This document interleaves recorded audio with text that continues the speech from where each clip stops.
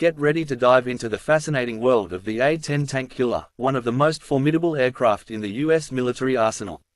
We'll explore its history, design, capabilities, and some little-known facts that make it a truly unique war machine.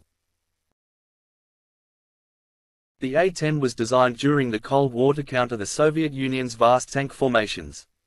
It was specifically built around the GAU-8 Avenger, a 30mm rotary cannon, one of the most powerful aircraft cannons ever flown.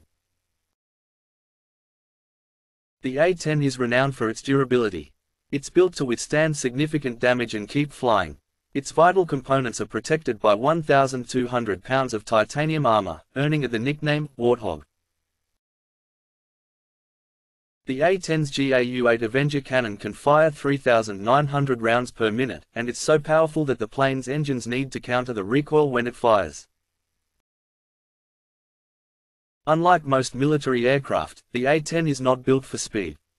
Instead, it's designed to fly slowly over the battlefield, providing close air support to ground forces. Despite numerous attempts to retire the A-10, it remains in service due to its effectiveness, affordability, and popularity among troops. The A-10 has become a symbol of American military power, with its distinctive silhouette and the fearsome sound of its cannon. Thanks for watching. If you enjoyed this video, don't forget to like, comment, and subscribe. If you have an idea for a future video, feel free to leave it in the comments.